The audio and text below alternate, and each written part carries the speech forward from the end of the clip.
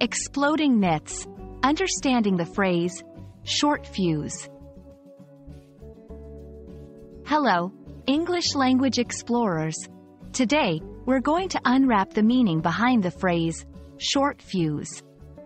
Whether you've come across it in books, movies, or someone's description, knowing what this phrase means can add an exciting layer to your English comprehension.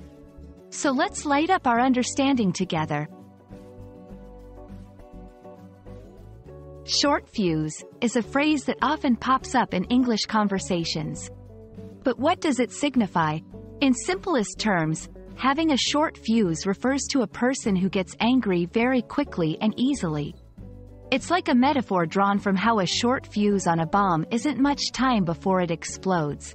Similarly, a person with a short fuse has a short temper. The phrase Short fuse is believed to have explosive origins, quite literally. It comes from the times when explosives like bombs or dynamite were used with a fuse wire that, when lit, would burn down to set off the explosion. A short fuse meant a shorter time to explosion. This vivid imagery has since been used to describe quick-to-ignite tempers. Let's see how to properly use short fuse in everyday conversation. Be careful when you bring up the topic of politics around Uncle John. He has a short fuse. I try to stay patient with customers, even though I have a short fuse. The coach has a short fuse, so it's better to avoid making mistakes during the game. Understanding how to use the phrase in context can help you communicate more effectively and enrich your vocabulary.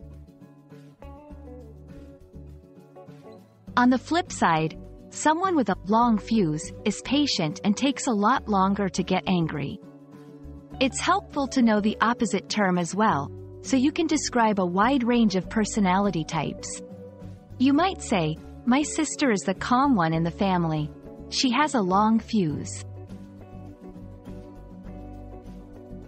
It's worth noting that describing someone as having a short fuse can have negative connotations. It implies a lack of control over one's temper, which may be frowned upon in many cultures. However, it can also simply be a neutral description of someone's quick reacting temperament without making a judgment on their character. If you or someone you know has a short fuse, here are some tips to manage it. Take deep breaths when you feel your temper rising, Count to 10 before responding to anger-inducing situations. Practice mindfulness or meditation to improve emotional regulation. Understanding phrases like short fuse can make learning English a blast.